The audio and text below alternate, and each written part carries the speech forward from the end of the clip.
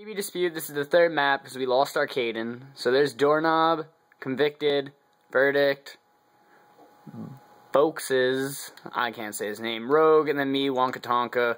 It's on four times. They take the big 4-0. Um, after we get the last kill, they rage quit and left.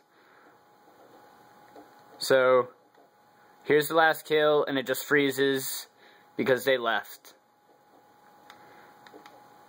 Right there, it's going to show Rogue gets that kill, and then Verdict leaves the game, and then the host rage quit, so have a nice day.